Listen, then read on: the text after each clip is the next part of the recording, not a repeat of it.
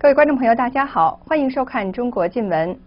薄熙来案一审判决之后，中共是否会追查薄熙来之子薄瓜瓜，一直为外界所关注。而薄瓜瓜又会如何反应，外界也都有猜测。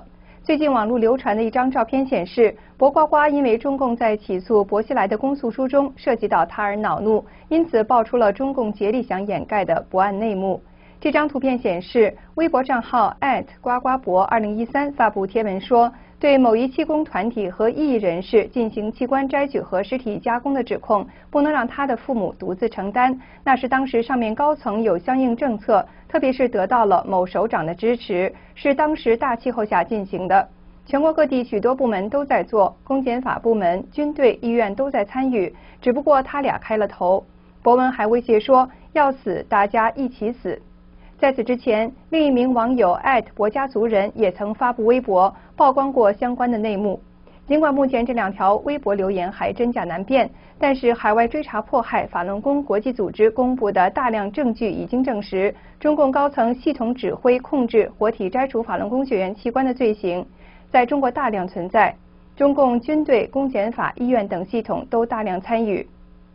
另据法新社报道，十一之前，一个巨大的红罐子装着巨大的假花和假桃子被安装在天安门广场上。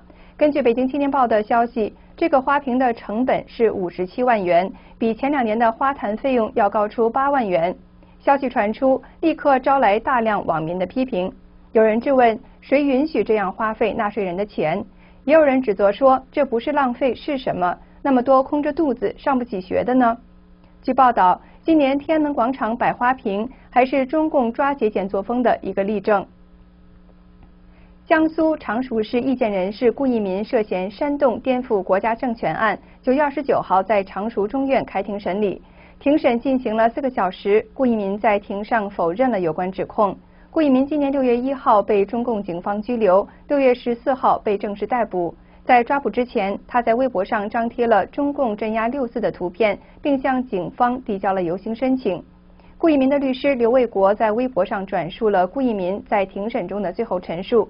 顾一民表示，他一直认为他是个人，一个公民，一个纳税人，他有权监督政府，有权批评政府，他没有罪。刘卫国在微博上透露，庭审时法庭外警察监控严密，一些网友要求旁听被拒。部分围观网友被警察带走，而另外一些人则被控制在家。